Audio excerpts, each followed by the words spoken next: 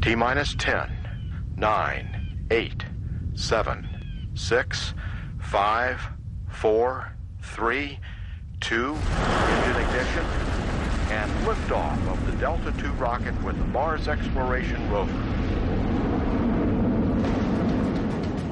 In the summer of 2003, NASA's Jet Propulsion Laboratory delivered two exploration spacecraft to the surface of Mars.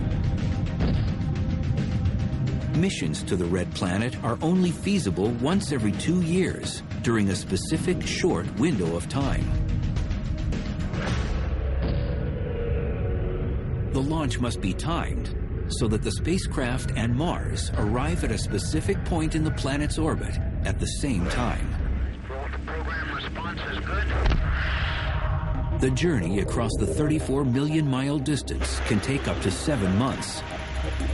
And the trajectory must be perfect. The accuracy required to go from Earth to Mars and to hit the spot you want to be at on Mars is equivalent to shooting a basketball from Los Angeles to New York and have it go through without hitting the rim. Nothing but net.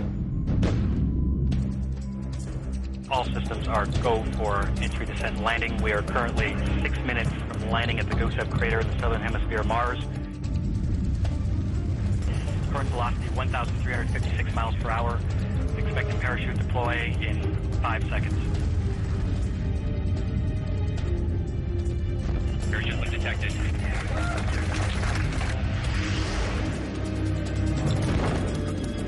Expected retro rocket ignition on my mark. Mark.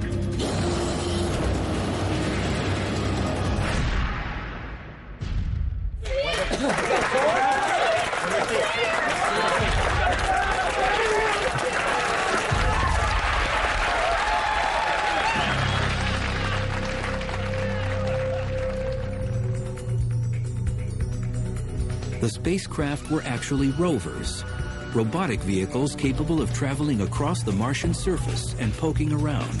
The rovers are robot geologists. Their job is to be our eyes, our feet, our hands on the Martian surface. We experience Mars through them. They can reach out and they can touch rocks. There's this device called the RAT, RAT, the rock abrasion tool, which is a, a diamond tip grinding tool that we can use to grind into the interior of a rock, and so we can actually get a window inside the rock. They have sensors on the end of that arm, like there's a microscope, for telling us in detail what they look like. So we've got a whole bunch of tools similar to what a geologist would want if they were actually physically there on the scene. The rovers were named Spirit and Opportunity, and they are still exploring regions of Mars today at locations on the planet hundreds of miles from each other. Spirit landed in an area dubbed Gusev Crater. The crater is believed to be a dried up lake bed, so if the water it once held contained biology, Spirit might uncover signs of it. Opportunity touched down in a region called Meridiani Planum. The area is intriguing because it contains an ancient layer of hematite, an iron oxide that on Earth usually forms in a spot that held liquid water. So far, neither rover has found signs of life. But both Spirit and Opportunity have uncovered ample proof that liquid water was once plentiful on the surface of the red planet.